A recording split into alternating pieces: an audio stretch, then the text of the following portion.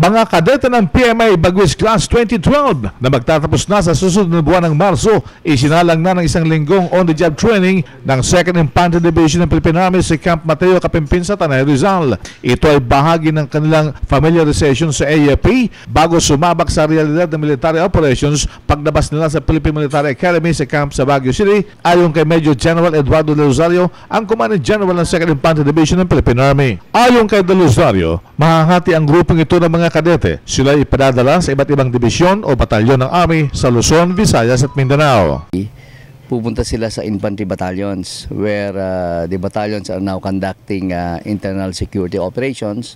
So mag-observe sila kung ano ginagawa ng mga regular units ng Armed Forces of the Philippines, in particular infantry battalions.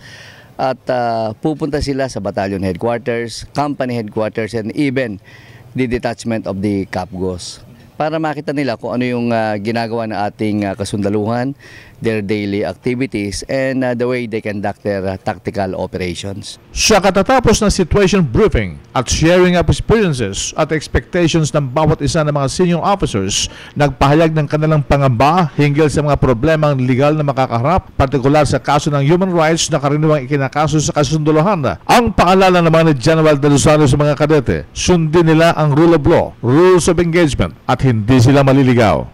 The three mortal sins sa division ay civilian abuse, indiscriminate firing, and third, participation to illegal activities. Follow that to the letter.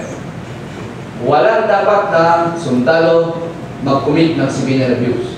Because we are here to serve, to protect, and serve the interests of the people.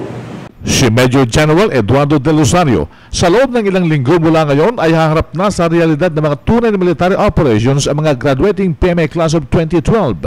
Iyan ang DCRSU sa Camp Kapinpin, Tanay Rizal. RH911 Bing Pormento, naglilingkod sa pagbabalita.